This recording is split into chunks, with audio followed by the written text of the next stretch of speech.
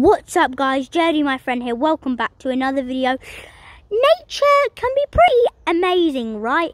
But in today's video, we're going to be looking at the weird side of nature. And in today's video, I'm going to be showing you and showing you guys. And by the end of the, this video, I hope you're convinced that nature can sometimes be a little bit weird.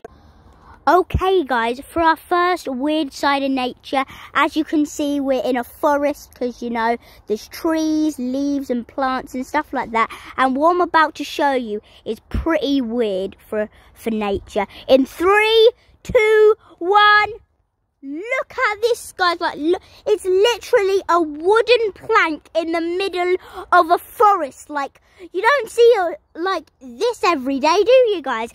And I checked like I checked as much of it as I possibly could, but there's no writing on this wooden plank, guys. So this weird side of nature is just a plain mystery. Okay, guys, for our next weird side of nature, um, we're here in this little like forest thing again. And shout out to my dad because he actually um, noticed this. So as you can see, there's this little path that we're going to enter because this is what we found. As you can see, we're entering the park. And look over there, guys. Do you see that? That's literally two metal spades. Like, what? In the meow head is this like two metal spades. As you can see, they're rustic. And there's nothing, just two metal spades. I'm going to kind of move it with my boot. As you can see, they're metal. This is another mystery yet to be uh, yet to be solved. I cannot believe I found two metal spades in a in my in a park. Like what?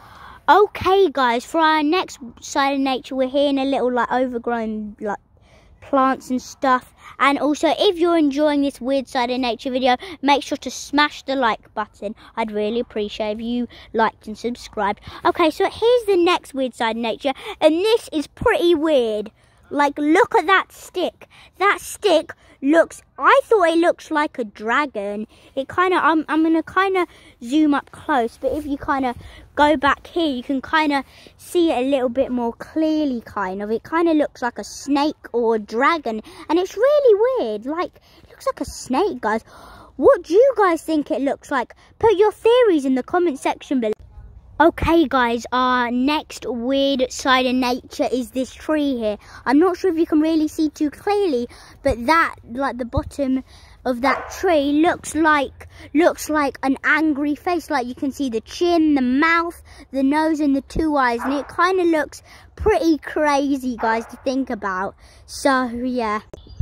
Okay guys, for our next weird side of nature, I'm not sure if you can see, but like, um, um, there's literally a log that looks like a hippo. Shout out to my dad again because he um he found this weird side of nature. Like it's literally so weird. It literally this log looks very similar to a hippo. Like what? Like look at it, guys. Like it's crazy how nature can just look so similar to animals. Okay, guys, for our last weird side of nature, it's this tree here and my dad theorized it this tree is 300 years old and he's probably right because look how like old and tall it is.